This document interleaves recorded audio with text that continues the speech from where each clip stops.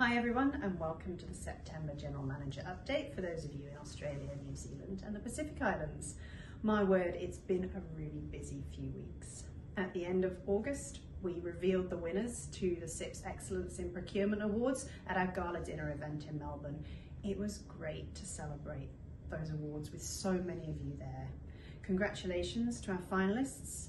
Being among our finalists, you're among the best of procurement supply.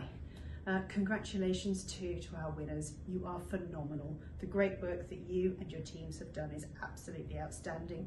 Thoroughly enjoyed celebrating every moment with you. You're absolutely the best of the best of the profession. Congratulations. Thank you too to our sponsors, SAP, VendorPanel and Supply Nation.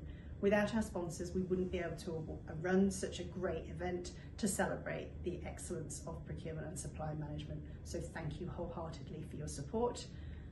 Check out the winners list, they're available online. Really looking forward to bringing you some of their learnings, telling you more about their projects. Look out for future sessions and events where they'll perhaps share their learning and knowledge to help further the procurement and supply community. Really looking forward to next year. Get your thinking caps on. Entries for um, our submissions for the awards for 2024 will open in January. Look out for more information coming soon. And earlier this month, it was great to see so many of you at the ESG Procurement Conference hosted by Quest uh, in Sydney. Loved catching up with you. I also really loved doing a session with Maria Getzios. We explored the role of agile procurement in helping improve ESG, so that's environmental, social and governance outcomes within procurement and supply for the greater good of society. Fab session. I think the key message was really that there's a way to go, but we absolutely have the appetite to collaborate, to work better together, to learn from each other, to really improve those ESG outcomes going forward. Great sense, and that conversation has not only started, it's in full flow and will continue. Registrations for the CIPS November exam series are open now, so if you're planning to achieve a CIPS professional qualification or start your study, check out those exams. Exam registration closes on the 24th of October.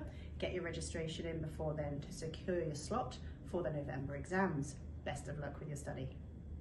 Looking ahead, the CIPS New Zealand Conference takes place on the 25th of October. That's in Wellington, New Zealand. Really looking forward to seeing so many of you there.